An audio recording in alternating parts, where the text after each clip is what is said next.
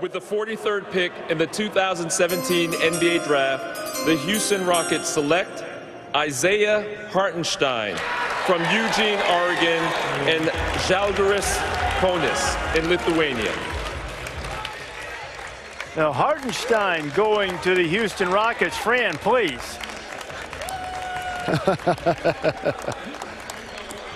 And of the Oregon Ducks, you remember about 17, 18 years ago, Flo Hartenstein. It was actually Hartenstein in Eugene. This kid was born in Eugene, lived there till he was 11, while his dad was a professional player in Germany. And then the family moved back. Oh, by the way, he played football and soccer in, in Eugene, and he is a Ducks fan. He is a big young kid. This is a major miscalculation, in my opinion. Had he stayed out of the draft one more year, I really think he had lottery talent. He's big, mobile, agile, and he has a chip on his shoulder. He plays with toughness.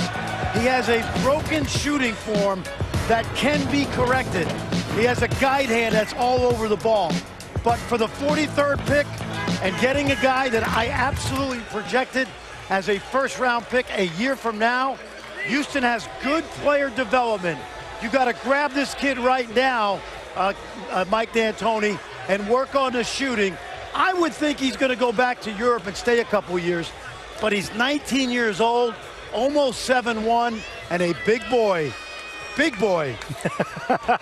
well, we can see that as he's, he's making his way through the crowd here in Brooklyn. Now, depending on when they do it, that type of player, obviously someone as, as talented as, as Fran believes Hartenstein is, how would it fit in with what James Harden is looking for with the Rockets. Right? Yeah, the Rockets under Daryl Morey are committed to pace and space. Mike D'Antoni continues to institute that. It was troubling the way they lost this year, though James Harden had an amazing season. Anytime you win game one by 20 plus points, but lose the closeout game by 30 plus points. Without the other team's best player being in uniform. And Tony yeah. Parker being in uniform as well.